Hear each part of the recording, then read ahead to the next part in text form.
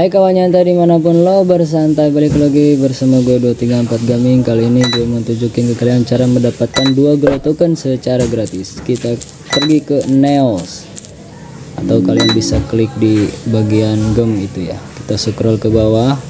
Nah ada give us klik. Kita disuruh mengisi survei. Oke kita klik centang di paling kanan jangan yang paling kiri nanti kalian tidak akan mendapatkan grow tokennya. Oke centang saja lalu kita klik sumbit.